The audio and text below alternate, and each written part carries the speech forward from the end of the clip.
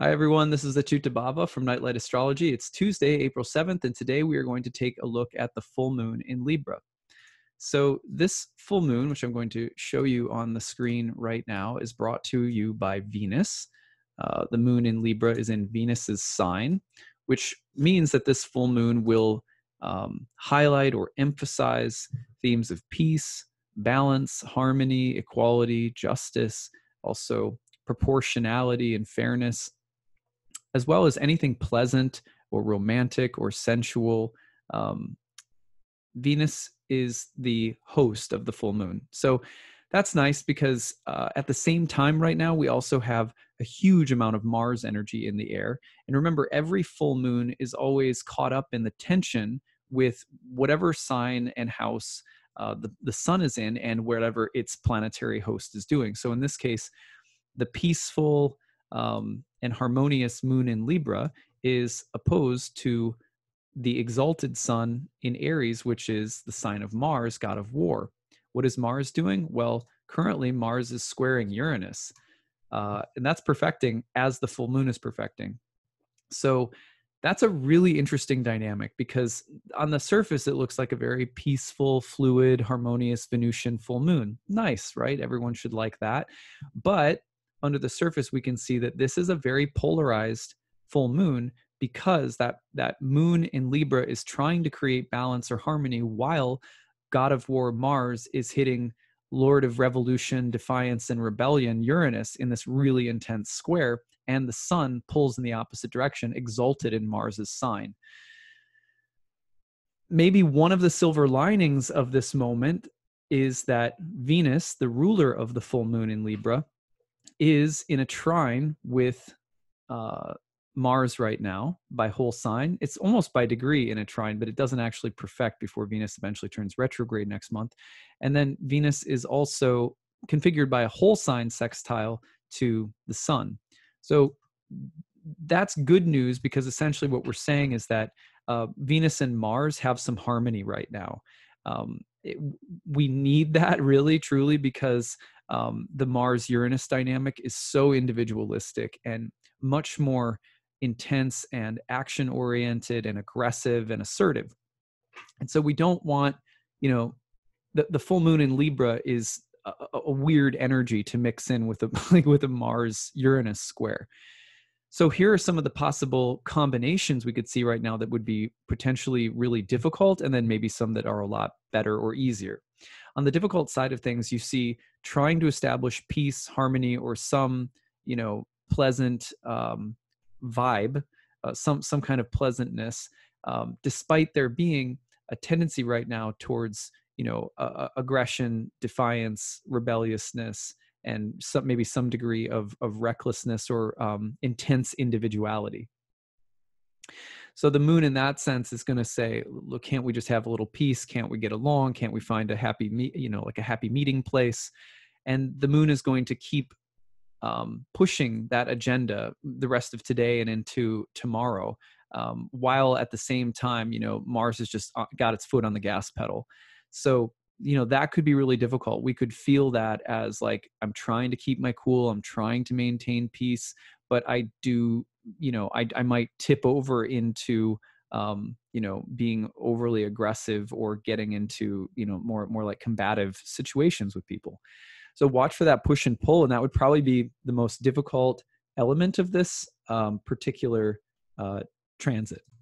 Now on the other side um, the most positive thing that could happen right now would be um, breakthroughs in relationships or some kind of effort or action that is designed to harmonize different agendas or different pieces or parts into a whole.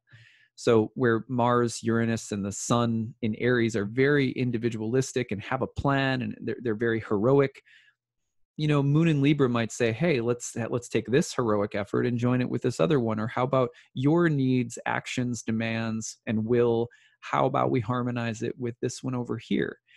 And then greater collaboration and union is possible. And that would be like the the bright side of this would be the ability to sort of mobilize one's activities and resources and energy with other people in order for for everyone to feel happy So, and again, go back to the dark side. The dark side is I'd like peace, but God, everyone is tilting into selfishness or aggressiveness or combativeness.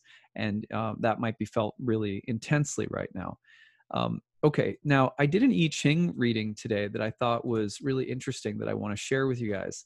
Um, the I Ching is an ancient Chinese oracle, it's really beautiful.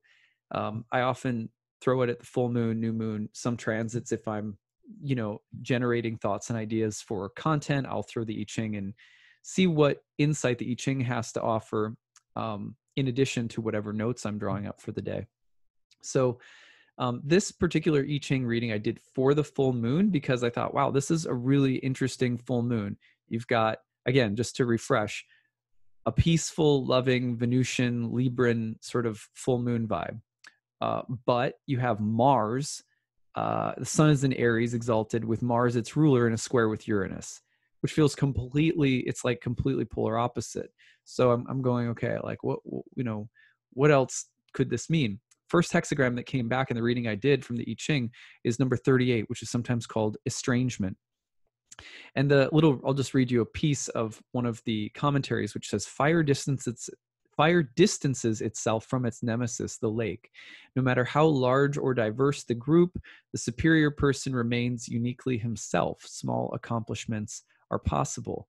Situation analysis, I like this. You are working at cross purposes with another. The distance between you is very wide. The gap can be closed, however, with no compromise of your integrity.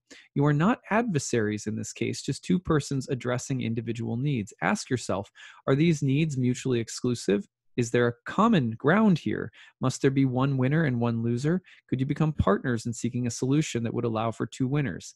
bam i was like that's perfect that is that couldn't have asked for a more perfect hexagram to address the situation but then the beautiful thing is the changing line which is the sixth line of the hexagram it reads this isolated through opposition one sees one's companion as a pig covered with dirt as a wagon full of devils first one draws a bow against him then one lays the bow aside he is not a robber he will woo at the right time. As one goes, rain falls, then good fortune comes.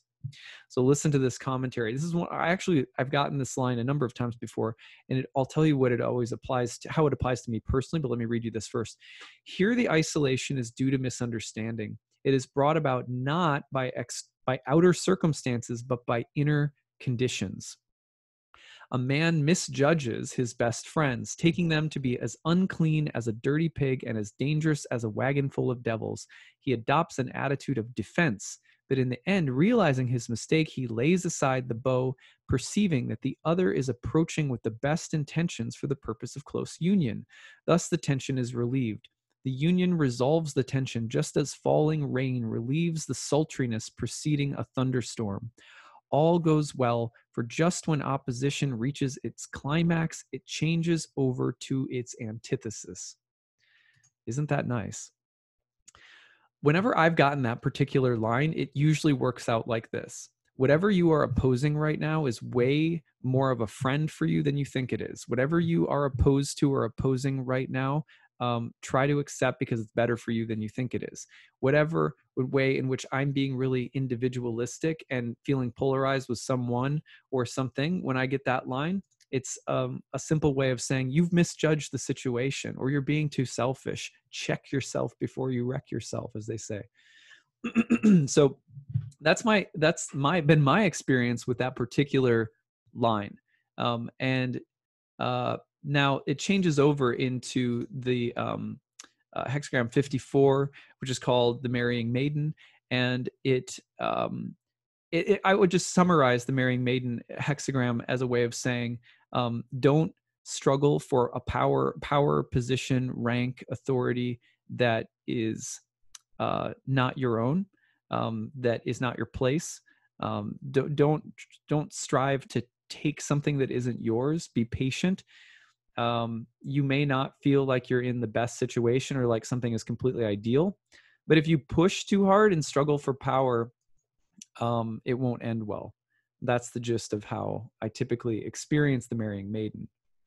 So, uh, with all of that in mind, um, I think that one of the overall ways in which I would summarize this full moon is there may be conflicting wills and a lot of you know um, individualities of the peacock feathers um, splayed out right now because of Mars Uranus and because of the sun in in Aries. However, this moon in Libra and Venus in a in a pretty nice harmonious trine with Mars, if we are reflective, discerning, and hold back from our most reactive or destructive tendencies, some kind of harmony is possible right now. And um, it may, again, like one of the things that I love about the hexagram that it said, I'll just reread that one part. it said, you know, you are not adversaries, just two persons addressing individual needs. Ask yourself, are these needs mutually exclusive? Is there common ground here? So that's what I'm looking at for this particular full moon. I would love to hear from you and hear how you are experiencing the full moon, especially with Mars and Uranus in the background. Um, in the meantime, uh, you know, leave your comments in the comment section. Tell me how you're doing overall. My prayers go out. Yesterday, we had someone share that her father had recently passed. Um, also, people sharing that loved ones have uh, gotten COVID 19 or that they themselves have gotten it. So, you know, we're all let's let's all encourage and support each other. Um, I hope that you're doing well and taking care of yourself. Uh, prayers for safety of mind and and um, safety of heart. May all those who are suffering right now or who are afraid feel comfort, and may we comfort one another um, and be the the instruments of of mercy and compassion for one another right now. Um, so uh, that uh, prayer in mind, I hope you have a very um, wonderful full moon uh, and that um, you stay safe and and happy. All right, take it easy, everyone. Bye.